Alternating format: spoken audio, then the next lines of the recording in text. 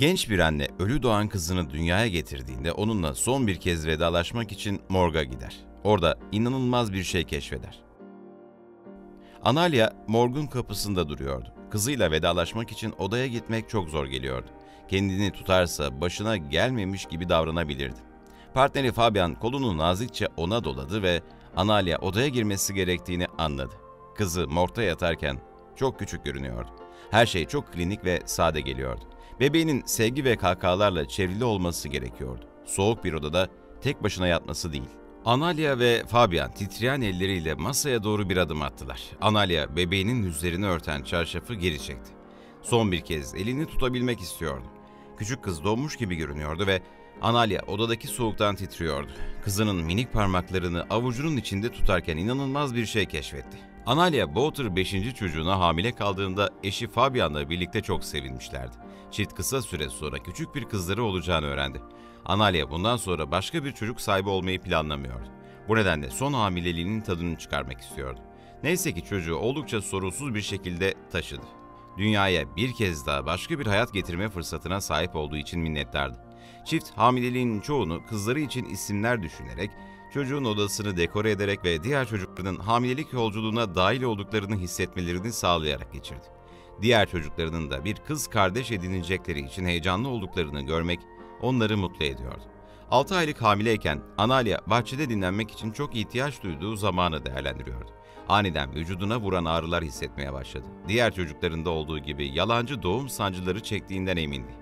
Fazla endişelenmeyen Analia sakin kalmaya çalıştı ve ağrının geçmesini bekledi. Ancak ağrı hafiflemek yerine daha da kötüleşti ve Analia endişelenmeye başladı. Hamileliğinin bitmesine 3 ay kala Analia doğum sancısı çektiğinden endişelenmeye başladı. Analia'nın ne kadar acı çektiğini fark eden Fabian onu hastaneye götürdü.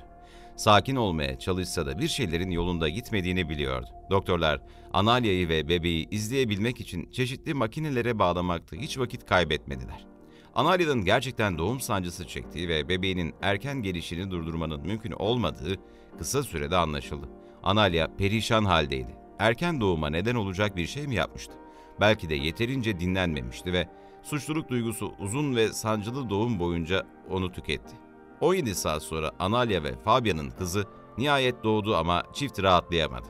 Doğumhanede çığlıkların yankılanmasını bekliyorlardı ama bunun yerine havada ağır bir sessizlik vardı.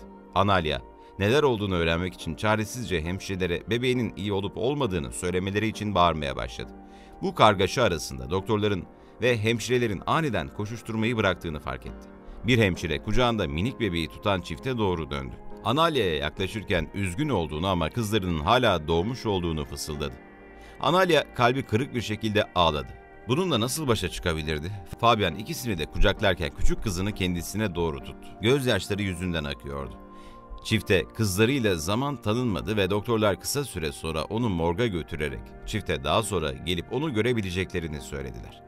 Götürülmeden önce Lucia adını vermeye karar verdiler. Çift kendilerini boşlukta hissetmiş ve doktorların anlayışsızlığı karşısında şok olmuşlardı. Her şey gerçekten aceleye getirilmiş ve klinik gibiydi. Analia ve Fabian'ın kızlarını tekrar görmelerine izin verilmeden saatler geçti. Kaybettiklerinin acısı yüzlerine kazınmış bir halde morga doğru ilerlediler. Kapılar açıldığında Analia içeri girmeyi reddetti. Fabian kolunu yavaşça kızına doladı ve sıktı. O da kızının kaybıyla mücadele ediyordu ama karısı için güçlü kalmak istiyordu. Ondan biraz güç alıyor gibi görünen Analia morga bir adım attı ve kızının yanına gitti.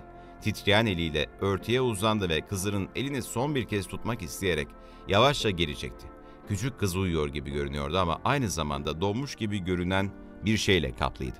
Analia bu düşünceyle ürperdi. Fabian kızının başını nazikçe okşarken Analia onun minik parmaklarını tuttu. Tam o sırada inanılmaz bir şey oldu. Lucy hareket etti. Analia kederli haliyle bunu hayal ettiğini düşündü ama ikinci kez olduğunda Fabian da fark etti. Kızları küçük inleme sesleri çıkarmaya başladığında morga kadar onlara eşlik eden doktor koşarak geldi. Lucia ölümden dönmüştü. Analia kızını kucağına aldı ve Fabian mucize için Tanrı'ya şükrederken ona sarıldı.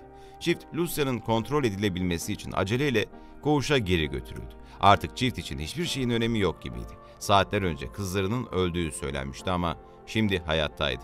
İnanılmaz bir şey olmuştu. Çift neredeyse anında kızlarının adını değiştirmek istediklerini anladı. Kızları yaşayan bir mucize olduğu için mucize ışık anlamına gelen Luz Milagros'un çok daha uygun olduğuna karar verdiler. Küçük Luz önümüzdeki birkaç hafta boyunca gözetim altında tutulmak üzere hastanede tutuldu ama durumu iyi görünüyordu. Doğumda hazır bulunan doktorlar küçük kızın doğduğunda hiçbir hayati belirtisi olmadığında ısrar ettiler. Doktorların tek açıklaması morgdaki soğuk havanın bir şekilde Luz'un metabolizmasını değiştirdiği ve hayatta kalmasına yardımcı olduğuydu. Ancak bu ihmal göz ardı edilemeyecek kadar büyüktü ve orijinal tıbbi ekip askıya alınırken mucize bebeğin bakımından sorumlu yeni doktorlar görevlendirildi. Luz başlangıçta iyi görünüyordu ancak doktorlar hiçbir yaşamsal belirti olmadan doğduğu gerçeğinden endişeliydi. Küçük kız ayrıca olması gerektiği kadar duyarlı görünmüyordu ve bazı cevaplar almak için daha fazla test yapıldı. Doktorlar Luz'un mikrosifiliz hastası olduğunu keşfetti. Hayatta kalma umudu varsa kök hücre tedavisine ihtiyacı olacaktı. Bu haber çifti yıktı ancak kızlarına yardım etmek için güçlü kalmaları gerektiğini biliyorlardı.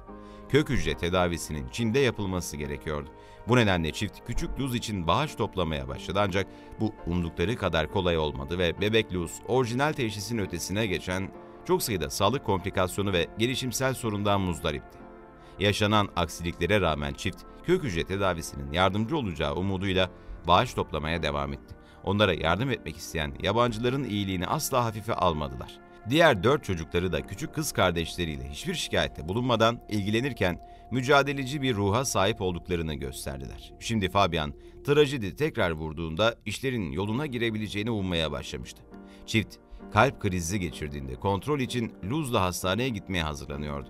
Doktorlar ve hemşireler yardım etmek için ellerinden geleni yaptılar. Ancak Luz kritik durumda kaldı. Aile bir anda kızlarını tekrar kaybedebilecekleri fikriyle karşı karşıya kaldı. Kızlarının ölü doğduğunu düşünmekten onu geri getiren mucizeye kadar geçen iki yıl çok zor geçmişti. Çift Tanrı'nın onlara bir mucize daha bahşetmesi ve kızlarını hayatta tutması için dua etti. Doktor bekleme odasında belirir belirmez çift haberlerin iyi olmadığını anladı. Yüzündeki acıma ifadesi bunu ele veriyordu. Doktor, Luz'un ne yazık ki hayatını kaybettiğini açıkladı. Analia kızını bulmak için odadan dışarı koştu. Doktorlar daha önce de yanılmıştı ve Analia kızlarını ikinci kez kaybettiklerine inanmayı reddediyordu. Kızının hastane odasına dalan Analia kızını kucağına aldı ve uyanması için çığlık attı. Bu sefer mucize olmayacaktı. Çift kızlarının artık huzur içinde olduğu gerçeğiyle teselli buluyordu ama ailelerinin bir daha asla eskisi gibi olmayacağından emindiler. Küçük Tuz ismine sadık kalmıştı. O gerçekten aile için mucize bir ışık olmuştu ve şimdi o ışık ne yazık ki sönmüştü.